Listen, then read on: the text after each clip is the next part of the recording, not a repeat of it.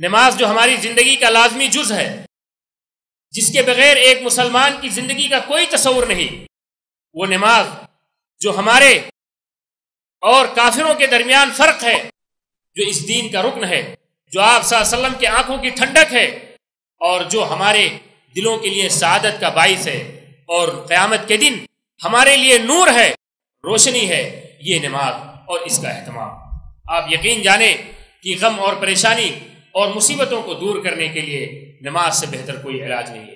آپ صلی اللہ علیہ وسلم کو جب کوئی خوف لاحق ہوتا، کوئی بڑی پریشانی لاحق ہوتی، کوئی ڈر لاحق ہوتا، تو فوراً آپ مسجد نبی کا رخ کرتے، نماز ادا کرتے، تاکہ آپ پہ سکینت تاری ہو جاتا، آپ کو سکون ہو جاتا۔ اس نماز میں بڑی قوت ہے۔ اللہ تعالیٰ نے اس کے اندر بڑے اسرار رکھے ہیں۔ آپ تجربہ کر کے دیکھیں۔ آپ کو کوئی پریشانی ہو، کوئی فضا ہو، کوئی جزا ہو کوئی خوف ہو تو آپ فوراً دو رکعت نماز پڑھیں۔ آپ کو محسوس ہوگا کہ آپ کے دل کی گھبراہٹ، آپ کی بے چینی، آپ کا وہ خوف، آپ کا وہ ہم و خود یا تو فوراً بالکل نکل جائے گا یا تو بالکل ہلکا اور بے اثر ہو جائے گا۔ اور کیسے نہیں ہوگا؟ آپ کو کوئی پریشانی آئی ہے؟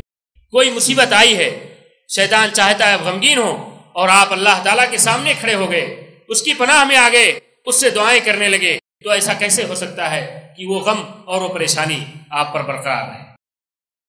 تو سب سے پہلے ہمیں چاہیے کہ نماز کی پابندی کریں اور فرائض کے ساتھ ساتھ سنن کی، نوافل کی، تہجد کی پابندی کریں، اس کا اہتمام کریں۔ یہ ہمارے دل کے لیے سکینت ہے۔ ہمارے دل کے لیے تمانینت کا باعث ہے۔ ہمارے لیے سعادت کا باعث ہے۔ دنیا میں بھی اور آخرت میں۔ اور حقیقی معنوں میں آپ کے لیے خوشیاں لانے کا باعث یہ نماز بنے گی۔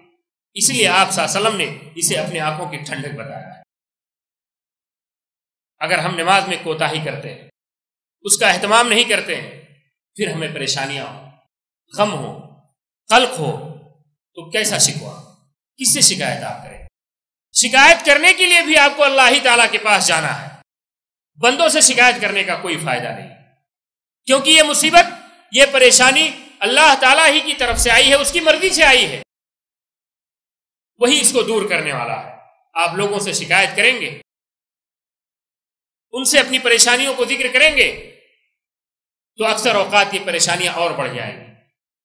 تو گھوم پھر کے آپ کے پاس آپ کو اللہ تعالیٰ کے پاس جانا ہے۔ اسی ذات کے پاس جانا ہے جو حقیقت میں اس پریشانی کو دور کرنے والا ہے۔ اور اس ذات کے پاس جانے کے لیے نماز سے بہتر آپ کے پاس کوئی ذریعہ نہیں۔ ہے اس لیے سب سے پہلے اگر آپ چاہتے ہیں، ہم چاہتے ہیں کہ اپنی مصیبتوں کو دور کریں، غم سے نجات پائیں، پریشانیوں کو دور کریں اور ہنسی خوشی زندگی گزاریں، سعید زندگی گزاریں، تو نماز کی پابندی بہت ضروری ہے۔ اور نماز کا مطلب صرف یہ نہیں ہے کہ آپ فرائض کی پابندی کریں، بلکہ آپ اپنے آپ کو نماز کا خوگر بنائیں، عادی بنائیں۔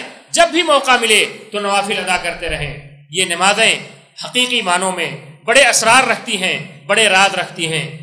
جو ہم کو اور آپ کو حقیقی سعادت سے دو چار کر